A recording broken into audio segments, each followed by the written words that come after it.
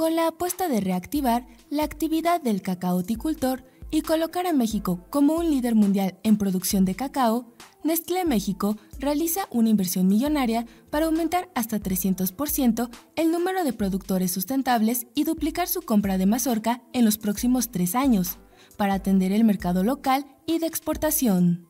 Tras la pandemia del COVID-19, la empresa suiza presenta crecimientos de doble dígito en su negocio de chocolates en México, pero también la demanda del consumidor en Estados Unidos refleja aumento en sus ventas. De modo que con las festividades de fin de año, que arrancan con las fiestas patrias, Día de Muertos y Navidad, se prevé que la empresa incremente 15% la comercialización al cierre del 2022.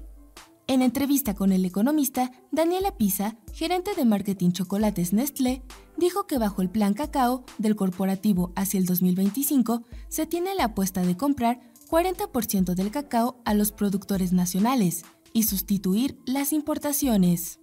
Tabasco es el principal productor de plantíos de cacao en el país, en aproximadamente un 70% de la cosecha nacional, por lo que Nestlé incentiva que los jóvenes se involucren en el cultivo tradicional y sustentable.